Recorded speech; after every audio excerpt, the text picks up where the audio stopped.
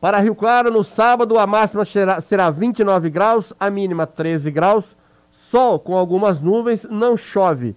A umidade relativa do ar desse sábado variando entre 28% a 83%. Nascer do sol foi às 6 horas e 49 minutos e o pôr do sol acontecerá às 17 horas e 34 minutos. Para domingo, a máxima será 26 graus, a mínima 15 graus.